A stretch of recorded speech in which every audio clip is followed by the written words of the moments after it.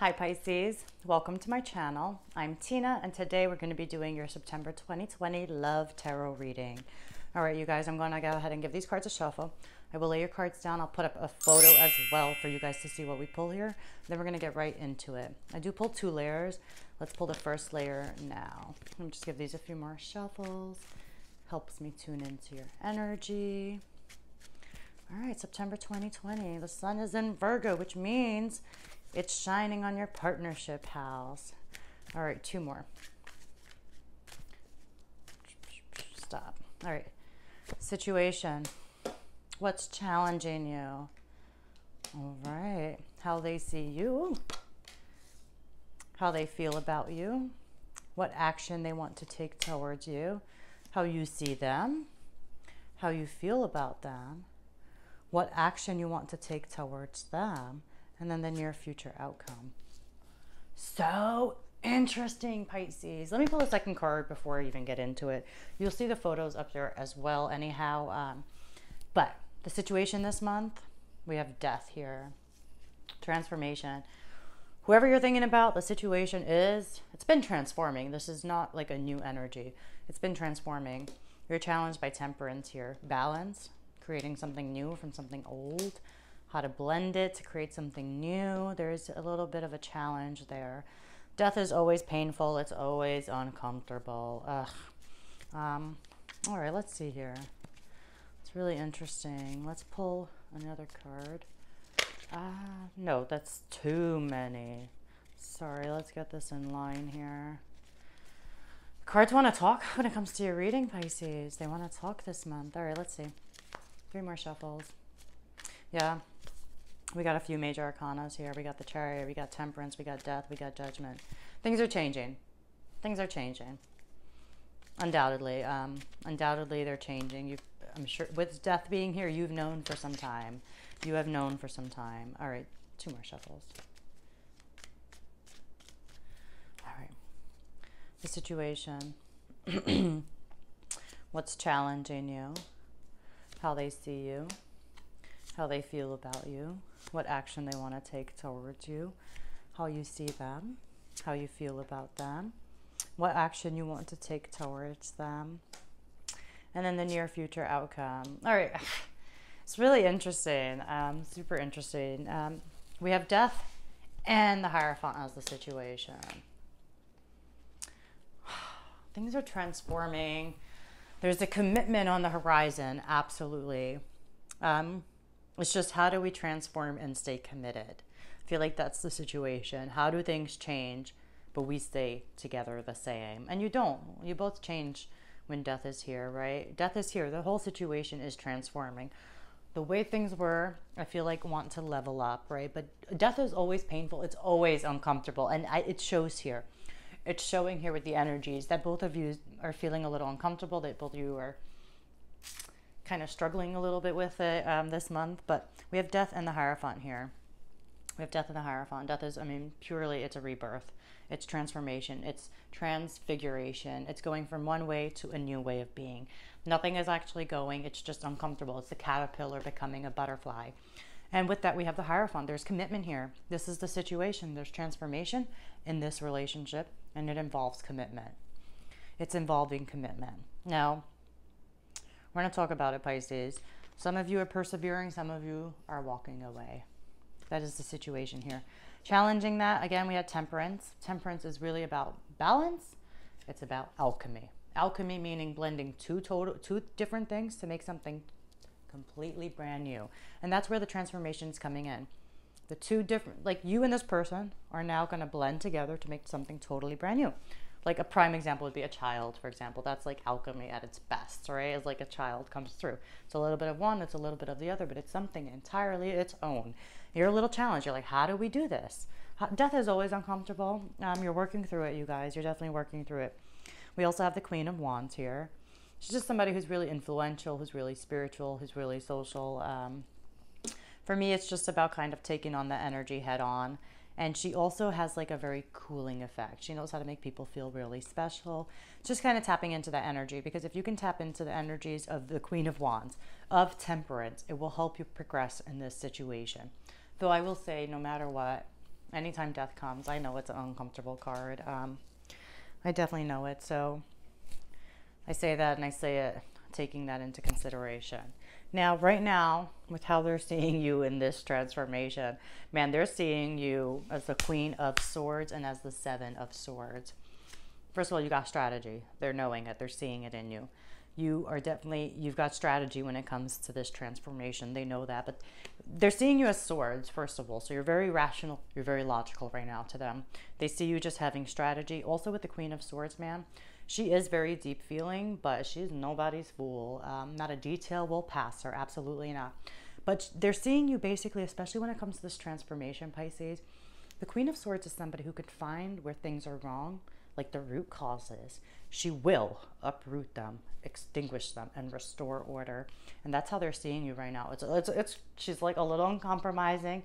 She could be a little harsh, but you know, when you're having to make changes, especially with that sword, you're having to cut things out. And they're seeing you have that strategy. They're seeing you make some head over heart decisions, absolutely. But she's sharp. She's real sharp and she is real deep feeling. And anyway, they see you as a queen. They see you as a queen. How do they feel about you, man? We got the Page of Wands here. Feeling a little sexual energy as well. Um, wands do also represent that primal sexual energy. There's a person who's looking at it, seeing its potential, being excited about it, absolutely. And we've got the chariot here. They, they feel determined about you, unstoppable about you. Like they have followed their heart, they know the direction they want, and they're charging in. This is how they feel about you. It's a very powerful, very powerful energy. And then the action that they want to take towards you, you guys. We got the Queen of Cups and the King of Pentacles whoever I'm reading for, they love you. They feel deeply about you. They value you as well. But that King of Pentacles here, man, he he's somebody who is dedicated. He's committed. That's the action that they want to take towards you. He is a provider as well. He takes care of his assets. But make no mistake, his most important asset are the people he love. Is his family. This is a guy who is an investor.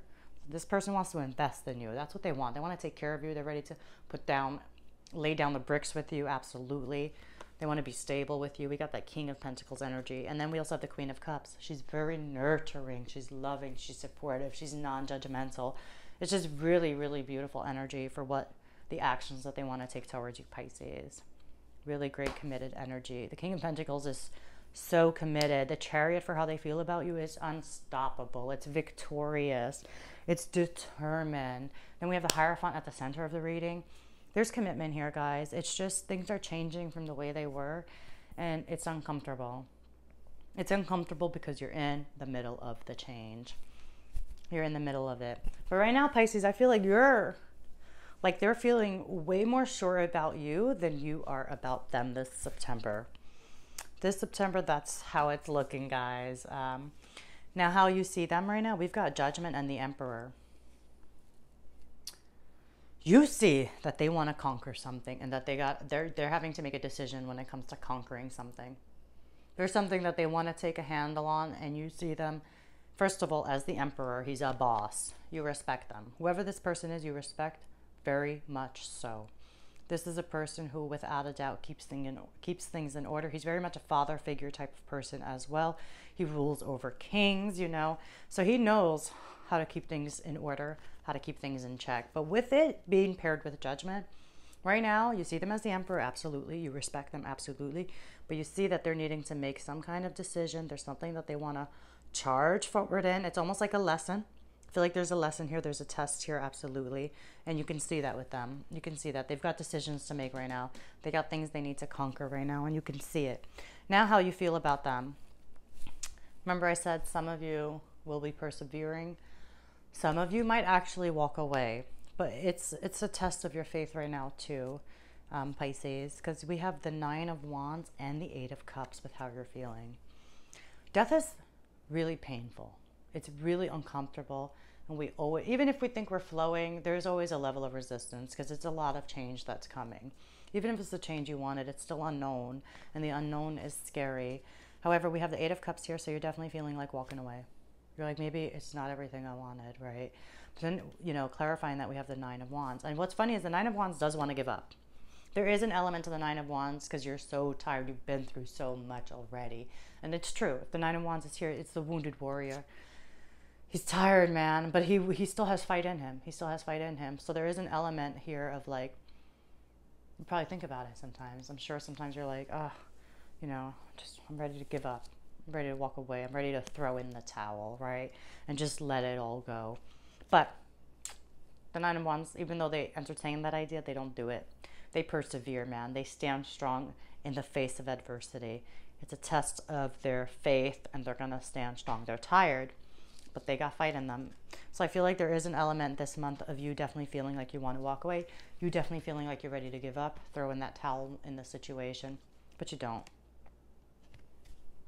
You're still ready to give it your all. You're still ready to fight for it. Absolutely. Absolutely. But you're tired. You're tired. Um, you're tired. And then the action that you want to take towards them, I feel like you've been obviously reevaluating, right? If there is if there's thoughts coming up of you wanting to walk away, you've been reevaluating things, right? Um, and we have that card here as well, presenting itself in your spread. We have the Four of Cups here. Reevaluating, right? You're not saying yes, you're not saying no. Like I said, should I persevere? Should I walk away? Uh, it's it's um it's death. death is a heavy energy. It sure is. It is out with the old, in with the new. It's because the old ways are not good for us anymore. That's why it's trying to get out of here. It's trying to do us a favor, honestly. It's trying to level us up. Pisces relationship 2.0 is what it's trying to do. But anyway, the action that you're taking towards it right now is not much. You're still in your mind, you're still making space for everything, for this future, for this commitment. I feel like you guys are transforming into a deeper commitment as well, into a new way of loving each other. We also have two aces here, guys. Um, all right, I'll grab that after. But clarifying that, we have the Ace of Pentacles.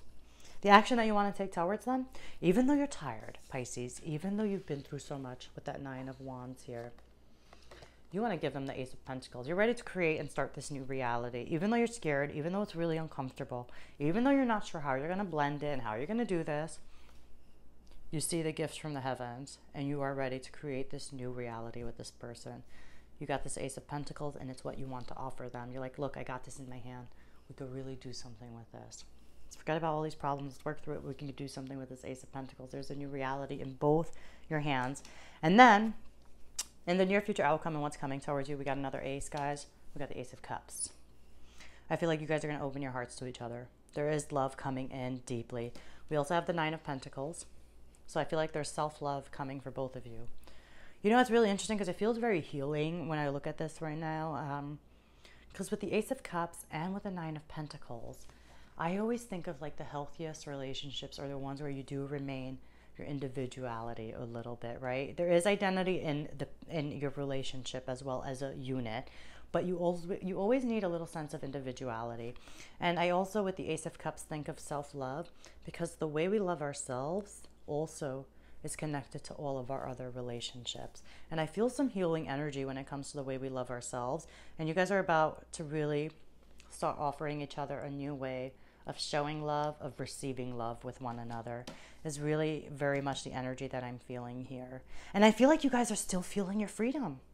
It's really interesting. It's just like a leveling up of commitment. But what's so interesting is you're still kind of feeling your freedom, your individuality and you guys are both like opening your hearts to one another. Really great reading. I'm going to leave it there for you guys, Pisces. Wonderful reading for September. I think there's commitment coming your way. I think there is a leveling up in your relationship. Definitely that's coming your way. Um, all right, I'm going to leave it there. Of course, if anything resonates, please like and subscribe. Thank you guys very much for letting me tune into your energy. I'll see you next week.